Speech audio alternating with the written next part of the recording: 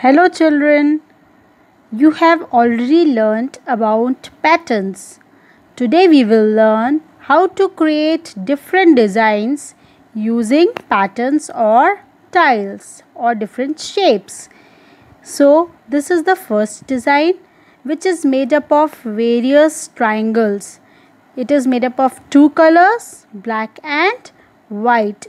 This is a white triangle and this is a black triangle. So this design is made up of different triangles. See how beautifully these triangles are arranged to make this design. Same way same way see this one here also these triangles are arranged beautifully to make this design or we can say this is a rectangular tile which is made up of two triangles and these tiles are arranged in such a way that it is making such beautiful pattern. These are also various tiles which are arranged beautifully. So today we will learn how to use these different tiles to make beautiful patterns. Here they have used colored tiles to make patterns. We will learn to create designs today. So I am showing you some designs which will give you the idea of making designs.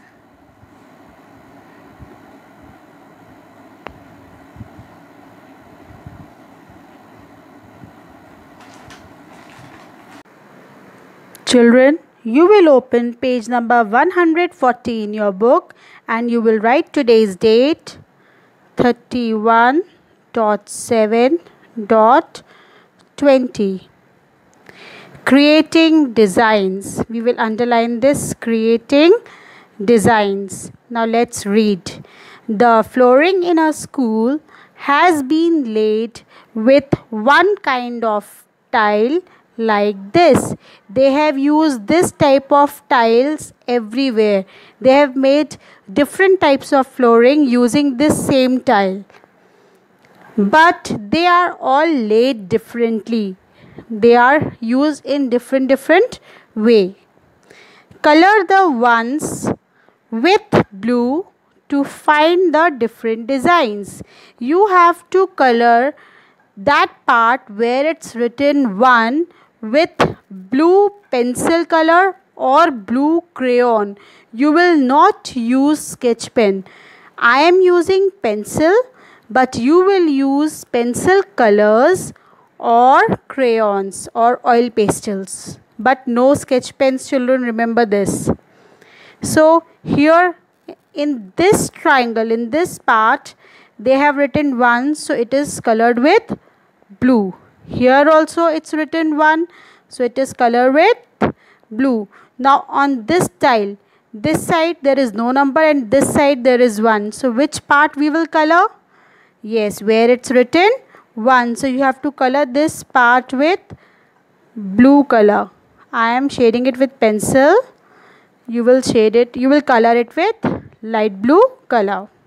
Same way here it's written 1 so we will shade shade it. I am shading you will color.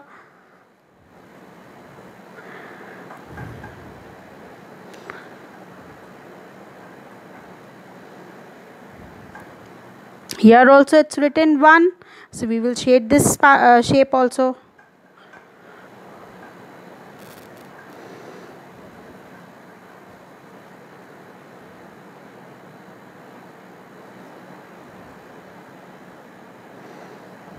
here also it's written 1 so we will shade this also. Wherever it's written 1 we will shade that shape or that part of the tile. Now can you see the pattern? Such a beautiful pattern we got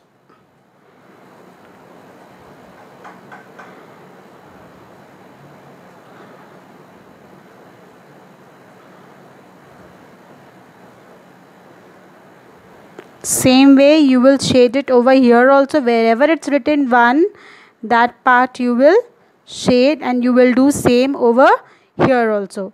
Now let's do the next part of the book. Let's read. This is a grill pattern on the class window. Suraj likes it because he sees many s in it the first letter of his name. Suraj starts with S, so he sees many S on the window. Aditi likes it because she says sees many heart shape in it. Aditi likes it because she sees many heart shapes over here. How many heart shapes can you see in the grill? You have to color hearts with red and you have to color inverted hearts a leaf shape design with green.